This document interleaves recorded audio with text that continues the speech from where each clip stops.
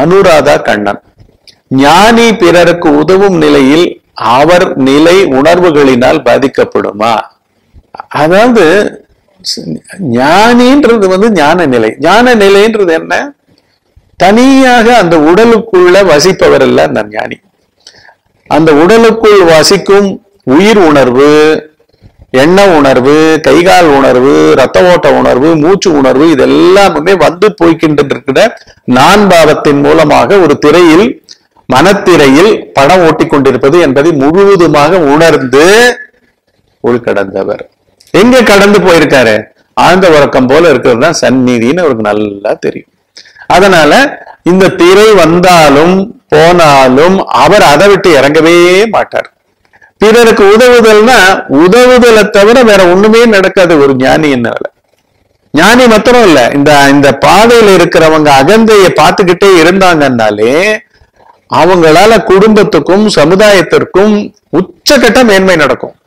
ஏன்னா அவர் இந்த பிரபஞ்சத்திலேயே இல்லாத ஒரு பொய்ய வந்து இல்லாததா பண்ணிக்கிட்டு இருக்காருங்க.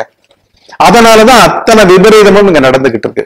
உலகத்துல எழுநூத்தி எழுபது கோடி மக்களும் உங்களை தவிர உள்ளே பார்க்கின்றவர்களை தவிர அவங்க எல்லாம் எப்படி இருப்பாங்க?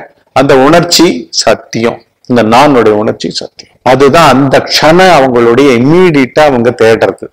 நாடுவது. அது துன்பத்தை தவிர்த்தலா இருக்கலாம் இன்பத்தை விழைதலா இருக்கலாம். இதுதானே அவங்க பண்ணிக்கிட்டு இருப்பாங்க. இந்த மாதிரி ஒருத்தர் அவங்களுடைய ஆழ்ந்த உறக்கத்துல இல்லையே அது அவங்களுக்கு தெரியாதே.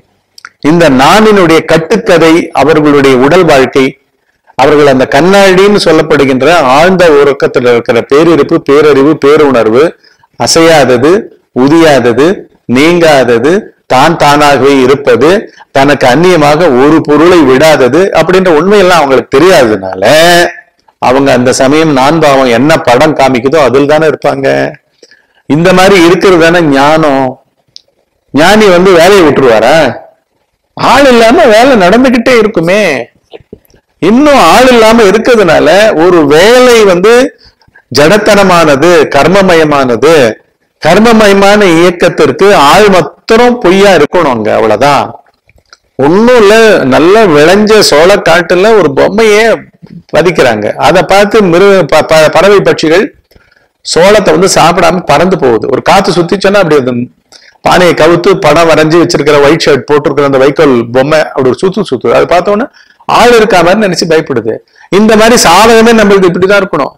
உள்ளுக்குள்ள இருக்கிறது பரம்பொருள்ன்ற அளவுக்கு இங்க எஸ்டாப்ளிஷ் ஆயிடுச்சுன்னா கர்மத்துக்கு மாத்திரம் ஆள் வேணும். எனக்கு என்னமோ கதாபாத்திரங்க. அந்த கதாபாத்திரத்துக்கு பொறுப்பு இருக்குங்க. நான் பணம் சம்பாதிக்கணுங்க. அவ்வளவுதானே?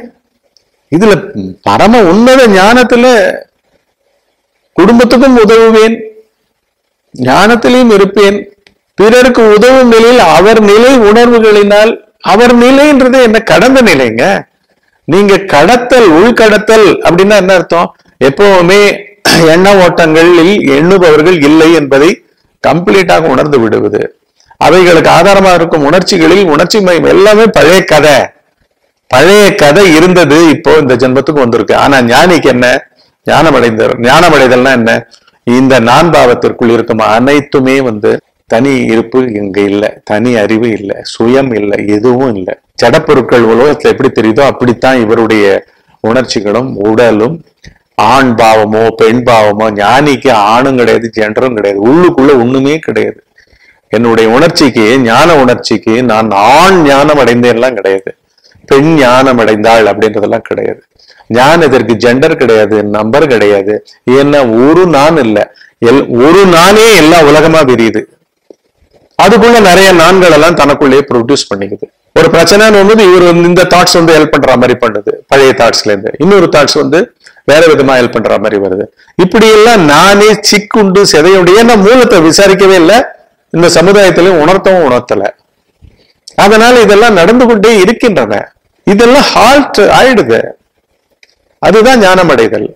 அதற்குன்னு வேலைகள் நடக்காம இருக்காது. இதற்குத்தான் நாம் வந்திருக்கின்றோம். செக்கு மாடு மாதிரி இங்க வேலை பண்ணிட்டு போறதுக்கு வரல.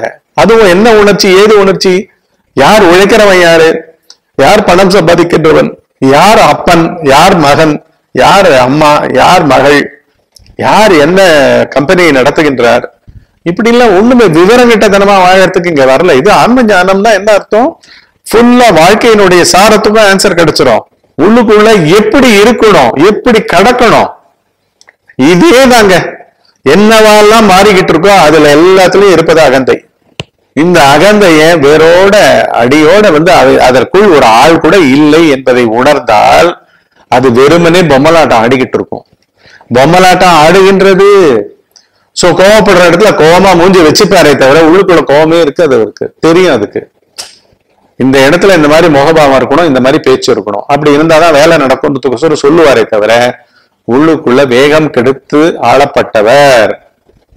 அனைத்து வேகங்களும் நானுடைய வேகங்கள்.